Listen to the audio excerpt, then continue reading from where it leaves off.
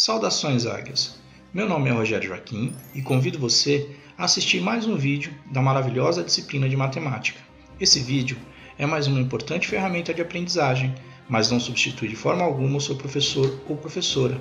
Sempre participe das aulas de matemática, interaja com seu professor, realize todas as atividades solicitadas por ele e principalmente respeite-o. Visite nosso canal, se inscreva para receber notificações de novos vídeos e sempre que possível, compartilhe nossas videoaulas. Esse gesto pode ajudar seu amigo a tirar aquela pequena dúvida e fazer a diferença em seu aprendizado. Nessa atividade, nós vamos descobrir como calcular o valor de y. Primeiramente, vamos lembrar as relações que nós temos de seno, cosseno e tangente.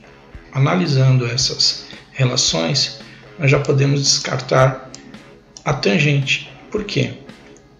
Tangente é cateto oposto e cateto adjacente. Cateto oposto e cateto adjacente a quem? Ao ângulo de 30 graus. Então, se eu tenho o valor de y e o valor de x desconhecidos, eu não terei como fazer essa conta. Eu posso descartar a opção da tangente. Quando observamos o seno, nós temos a relação de cateto oposto sobre hipotenusa. A hipotenusa é um valor conhecido, ótimo, e nós já temos o ângulo. Só que o cateto oposto é x, e esse valor não é o valor que eu estou procurando, não tem nenhuma relação com o cateto adjacente, que é o valor de y que eu estou procurando. Por esse motivo, vamos descartar a opção de seno. Como opção é a opção cosseno. Note que y é o cateto adjacente do ângulo de 30 graus. Como conhecemos a hipotenusa, então a razão que relaciona esses dados é o cosseno. Logo, vamos fazer essa relação. Nós temos o valor de cosseno, que é igual cateto adjacente sobre a hipotenusa. Qual o valor do cosseno?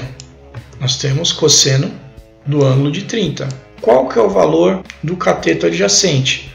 É um valor desconhecido. Então coloco o valor de y. Qual que é o valor da hipotenusa? Este é um valor conhecido, 10. Agora vamos analisar a nossa tabela. O ângulo notável, nós vamos perceber que cosseno de 30 é igual a raiz de 3 sobre 2. Então o próximo passo é substituir o valor do cosseno pelo valor que a gente já conhece, que é um ângulo notável.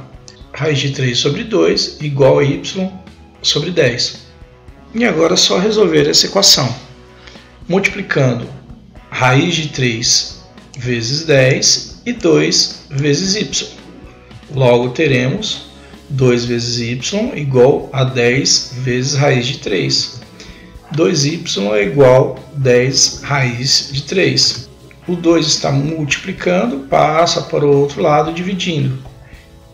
Simplificando esses valores, dividindo por 2 por 2, vamos chegar no resultado de y, que é igual a 5 raiz de 3. Espero que tenham gostado, se inscrevam no nosso canal até breve.